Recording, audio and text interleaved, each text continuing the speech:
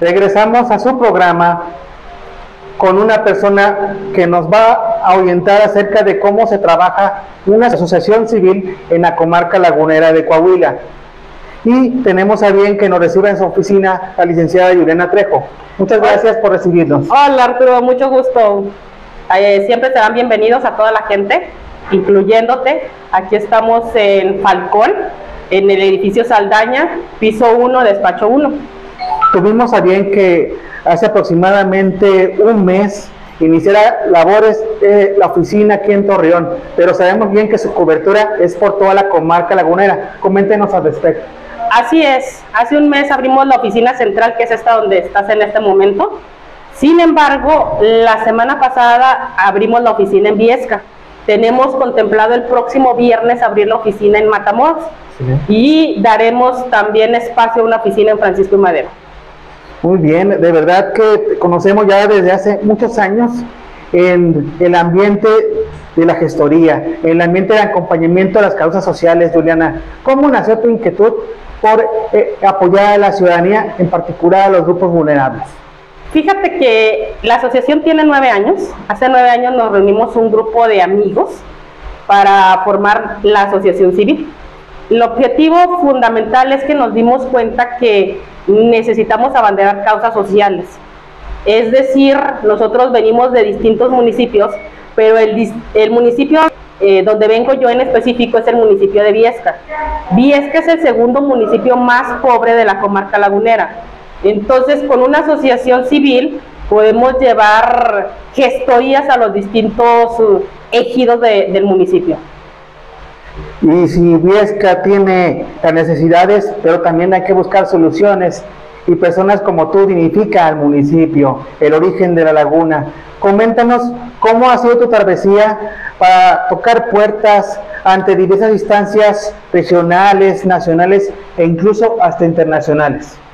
Fíjate que la parte de la gestoría es muy complicada porque eh, perdimos algo muy importante en el sexenio que está a punto de terminar, porque Indesol era un gran aliado para nosotros.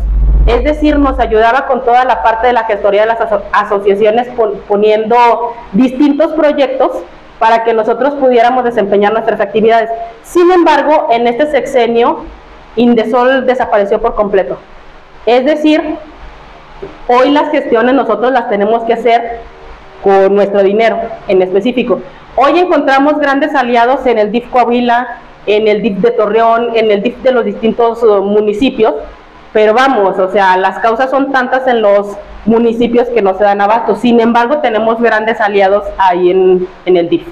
Es muy lamentable que junto con la extinción de los fideicomisos por parte del gobierno federal, por parte de las autoridades del poder ejecutivo y legislativo a nivel nacional, cómo han aumentado las necesidades de los grupos vulnerables con el aumento de los medicamentos, sobre todo los que son para los adultos mayores, que a pesar de que reciben su pensión, no hay dinero que alcance para poder costear los tratamientos que requieren tanto diabetes como hipertensión y las enfermedades que, que cada vez son más recurrentes que afectan a nuestra población, como el cáncer, por ejemplo, en particular a los menores de edad.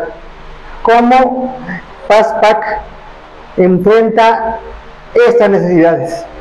Fíjate que estamos llevando un proyecto, estamos construyendo un proyecto en el cual vamos a poner farmacias a muy bajo costo. Es decir, la gente va a poder ir a adquirir una serie de medicamentos a bajo costo, que es en promedio 10, 15 pesos, Estamos arrancando el proyecto con algunos productos, sobre todo en la cabecera municipal de Viesca, donde no tienen doctor, donde no hay las condiciones apropiadas para que compren medicamentos y donde son muy caros los medicamentos. Es muy complicado para la población que vive de manera lejana en las comunidades, particularmente en Viesca, que puedan hacerse llegar de los servicios básicos y uno indudablemente es la salud. Coméntanos, licenciada, ¿Qué opciones les ha brindado el sector público para poder seguir defendiendo las causas de los más necesitados? Fíjate que es un gran aliado, te decía, en este momento el gobierno municipal y el gobierno estatal. Yo creo que el gobierno estatal en este momento tiene un enfoque prioritario a lo que tiene que ver con la salud. En días próximos veremos cambios en toda la, la cuestión de salud y sobre todo en surtir las farmacias para que la gente pueda adquirir su medicamento. Hoy padecemos de un problema grande que es que la gente va, eh, es consultada, pero no hay nada, no hay ningún medicamento en los centros de salud. Yo creo que eso va a venir a, a cambiar rápidamente en Coahuila con esta administración. Sí, esperemos que en este primer año, ya por cumplir del gobierno del Estado, hemos visto impacto positivo, sobre todo en que se regrese la confianza a los grupos vulnerables de que puedan ser sus necesidades escuchadas y sobre todo a partir de asociaciones como PASPAC.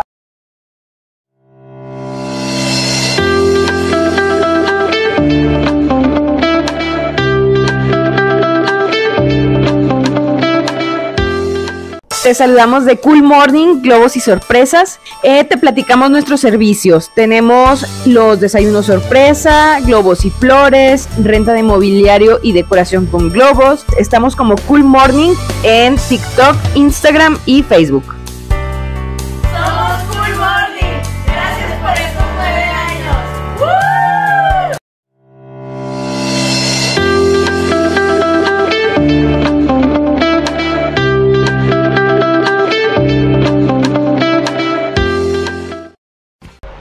Regresamos a su programa comentando por referente a PASPAC y su trabajo comunitario en la comarca lagunera de Coahuila.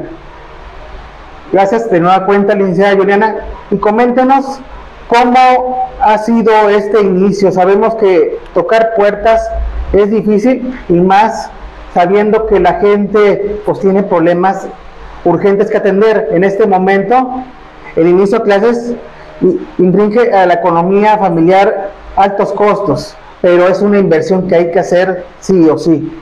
El problema de la salud que pues, es ineludible, que no le podemos dar vueltas, y que nuestros ancianitos, nuestras mamás, nuestros papás requieren brindarle servicio médico a los que son parte de sus familias. ¿Cómo poder hacer frente a todo esto? Más aparte, pues, que muchos de nuestros funcionarios no tienen la conciencia y la sensibilización de servicio a la comunidad. Así es.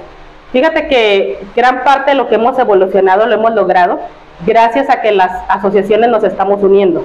Hoy PASPAC no trabaja sola, trabaja con Movimiento Integral de la Laguna, de la doctora Margarita Medina, la cual nos, como, como asociaciones, pesamos más si somos un bloque de asociaciones que si somos una sola. Entonces, hoy trabajamos en conjunto muchísimas asociaciones que nos hemos unido. ¿Para qué? Para lograr el bienestar para la gente. Eh, hemos puesto dinámicas en conjunto, la cual nos ha llevado a generar espacios con la gente que antes no teníamos.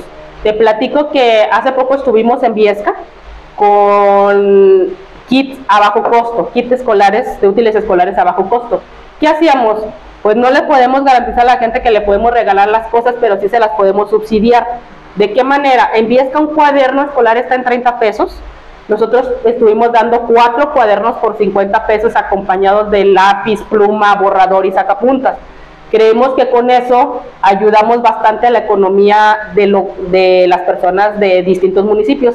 Próximamente esta misma dinámica la vamos a tener en Matamoros acompañada de nuestra amiga Margarita Medina, eh, quien va a bajar este, este recurso ahí con la gente de Matamoros. Algo que me llama la atención es la palabra subsidio. Sé si recuerden, amigas y amigos, hace años, por parte del gobierno federal, nos apoyaba con programa de subsidio a la tortilla.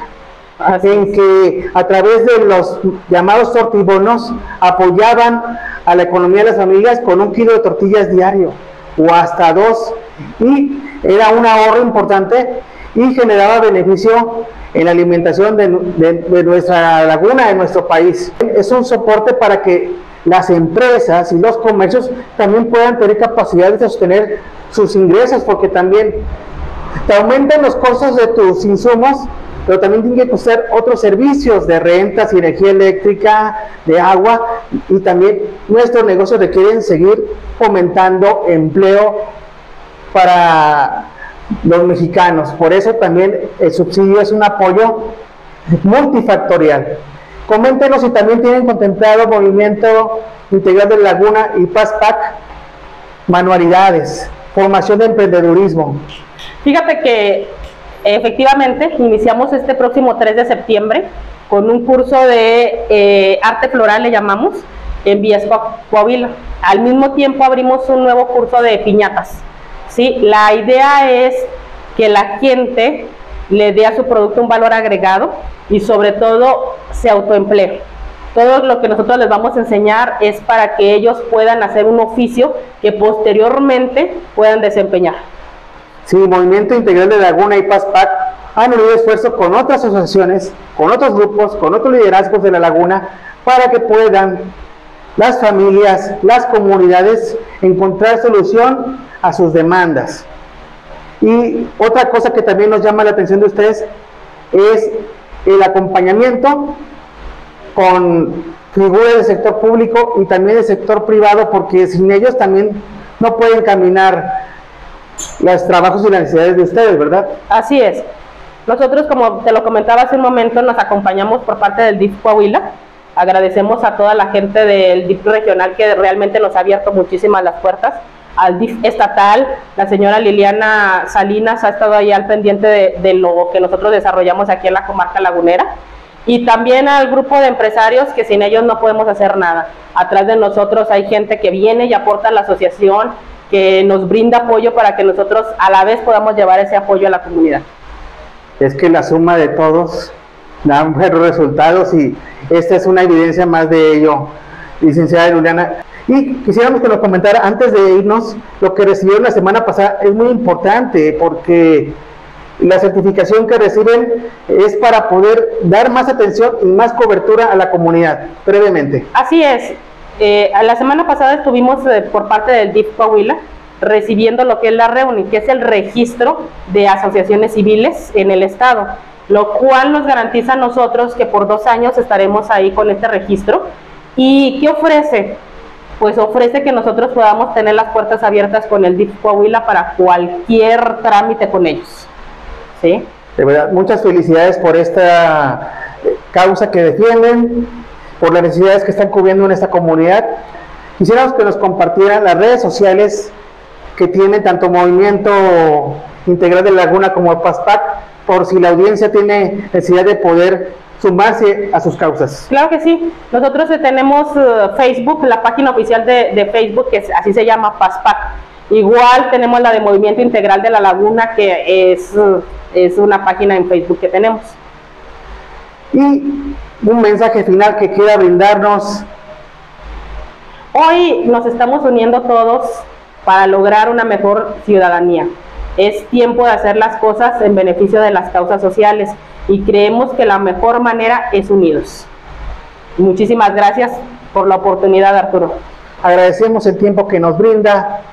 Su servidor Arturo de la Isla se despide con Juliana Trejo. Hasta la próxima. Hasta la próxima.